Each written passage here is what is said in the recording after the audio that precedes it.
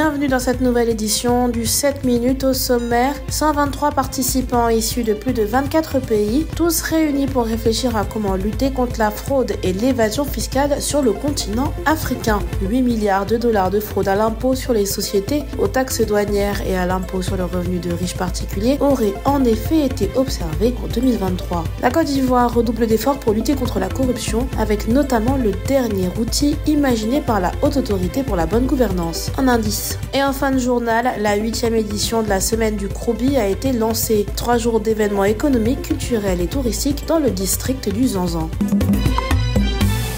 Le mal est présent, il faut donc le combattre. Pour ce faire, un séminaire technique est organisé en plein cœur du Noumotel. L'objectif ici est de lutter contre la fraude fiscale tout en mettant en avant la conformité et le recouvrement. Les lignes directrices de l'ASS constituent un point de référence idoine pour mettre en place et développer des systèmes efficients de recouvrement et de conformité. Ce séminaire est piloté par l'Association internationale de la sécurité sociale. Durant plusieurs heures, les experts des pays de la sous-région ont pu partager leurs expériences sur les questions liées au bon développement de l'administration en matière de sécurité sociale. À noter que l'AISS est une organisation internationale qui promeut l'excellence en matière d'administration de la sécurité sociale à travers des lignes directrices professionnelles, des connaissances spécialisées ainsi que la fourniture de services dans le monde entier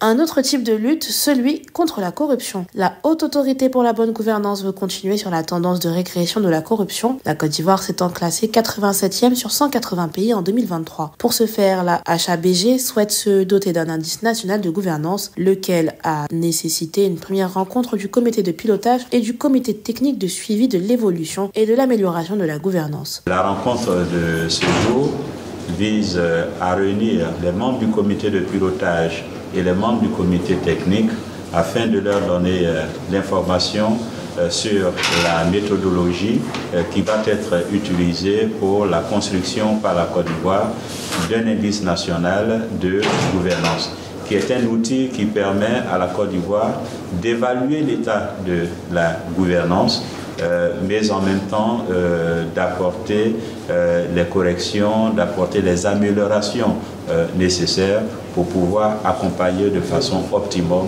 le processus de développement dans lequel notre pays est lancé. Afin de pouvoir développer ces deux entités, l'assistance technique de la cellule d'analyse des politiques économiques du CIRES a été sollicitée pour l'élaboration d'un indice national de gouvernance.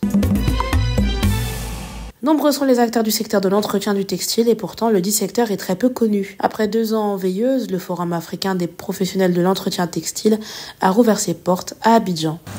Je salue et adresse mes encouragements à l'ensemble des membres de la Fédération africaine des professionnels de l'entretien textile pour la rigueur et la détermination observée dans la réalisation de leur activité. Une deuxième édition aux enjeux multiples. On est là ce matin parce que l'entretien textile est un secteur qui n'est pas connu et pourtant euh, tout le monde l'utilise et il y a des défis et il y a aussi des dangers.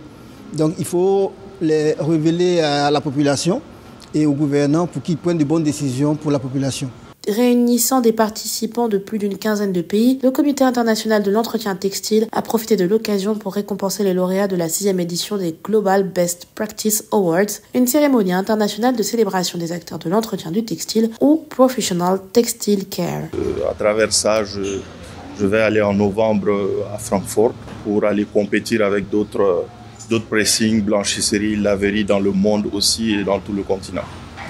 J'ai eu à faire euh, beaucoup d'images, beaucoup de vidéos, beaucoup d'explications sur notre process, sur nos, sur nos principes de travail, euh, autant sur l'aspect ressources humaines, sur l'aspect financier, sur l'aspect euh, technique, durabilité et environnemental surtout.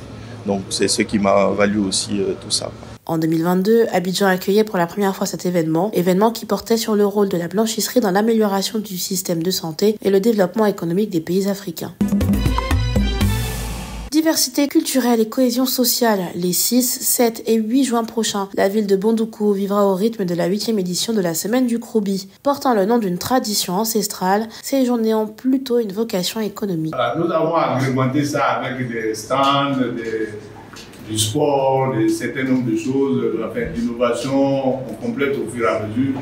Sur la danse du produit, c'est identique Les régions du Bunkani et du Gontugo s'en vont ainsi pour la huitième fois en opération séduction, sans oublier les aspects touristiques et culturels du district. Ainsi, les trois jours seront meublés d'échanges culturels, de rencontres B2B, de visites touristiques, de panels, de formations et d'expositions-ventes. C'est la fin de cette édition du 7 minutes. Merci de l'avoir suivi. L'actualité se poursuit sur cette info et sur cetteinfo.ci.